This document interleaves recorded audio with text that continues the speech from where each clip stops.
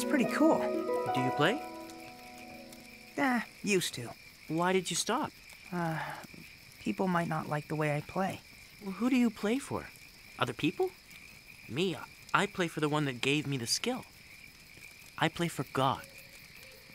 I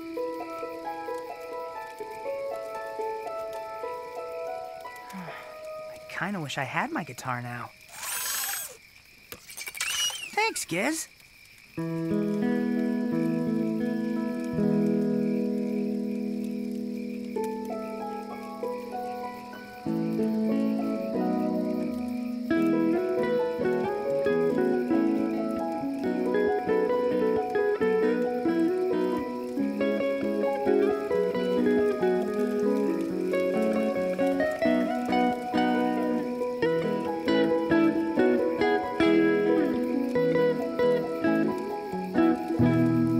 All right, that kicked.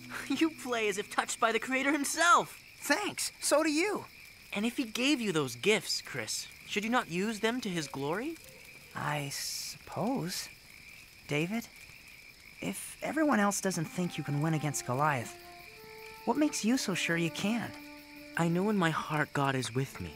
He'll give me strength when I need it most. It is just like music.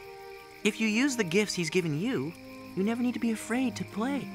So, if God gives you the ability, then the size of the giant, or the size of the audience, doesn't matter?